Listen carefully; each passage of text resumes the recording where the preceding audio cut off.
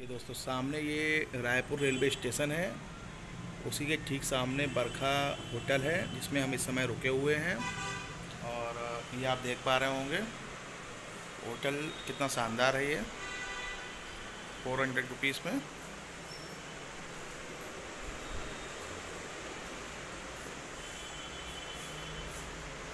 मेरी बारह बजे की ट्रेन है तो इसलिए मैंने सोचा कि मैं यहाँ पर होटल में गए हम नहा धो के तैयार हो चुके हैं होटल में। अब हम बाहर जा रहे हैं, चाय वाय पीने के लिए।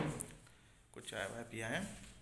और बाकी दिखाते हैं आपको होटल कि रायपुर से किस तरह बगल में ही, जस्ट बगल में ही होटल है।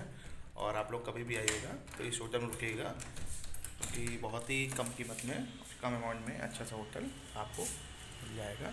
मैं आपको दिखा दे रहा हूँ।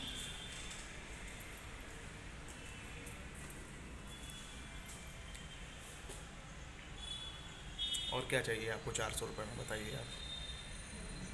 चार सौ रुपये में इससे अच्छा होटल आपको नहीं मिलेगा। और सामने हम आपको दिखा रहे हैं रेलवे स्टेशन। ठीक सामने दिखा रहा हूँ। Raipur railway station.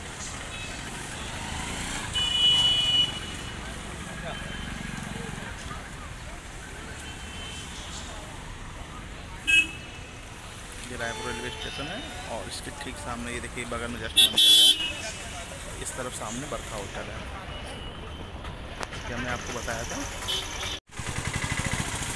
Raipur bus station sorry. Raipur railway station इसके ठीक सामने का नज़ारा railway station,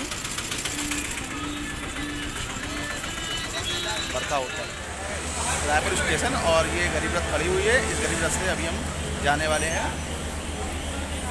और फाइनली आज हम कानपुर पहुँच ही जाएँगे।